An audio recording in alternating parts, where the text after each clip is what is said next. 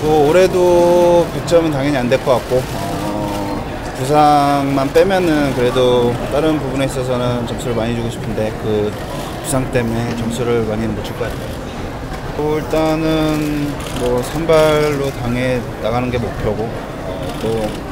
겨울 동안 또 팀이 어떻게 바뀔지 모르기 때문에 뭐 그런 쪽에 있어서는 뭐 선수가 당연히 준비해야 될 건 준비해야 된다고 생각하고 일단 뭐 당연히 선발로 나가는 게뭐 일단 처음부터 끝까지 목표인 것 같아요. 일단 뭐 조- 조금 이제 시정도 하면서 좀 쉬면서 어 이제 또 운동 시작해야 될 것 같고 어 일단 내년에 정말 제발 좀 안 아플 수 있도록 네, 겨울 동안 준비 잘해야 될 것 같아요. 어 일단 뭐 가을여 가는 거 자체만으로 너무 좋았었고 기뻤었고 어, 뭐 선수들하고 뭐 감독님하고 뭐 연락하면서 네, 축하 인사 드리고 있었는데 일단 감독님께 최대한 많이 올라갈 수 있으면은 올라가셔서 제가 한국 왔을 때 구경 갈 수 있도록 해달라고 얘기를 했었었고요. 네, 일단